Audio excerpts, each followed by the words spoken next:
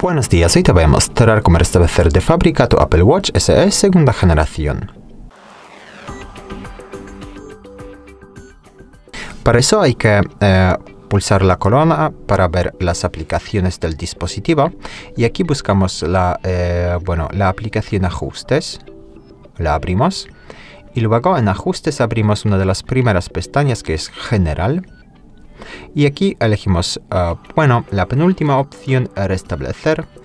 Y bueno, pulsamos borrar contenidos y ajustes más abajo. Confirmamos borrar todo. Y esperamos.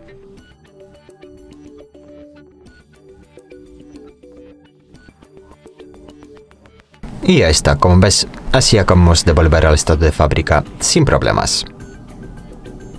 Muchas gracias por ver el vídeo, te invito a abajo y suscribirte al canal. Hasta luego.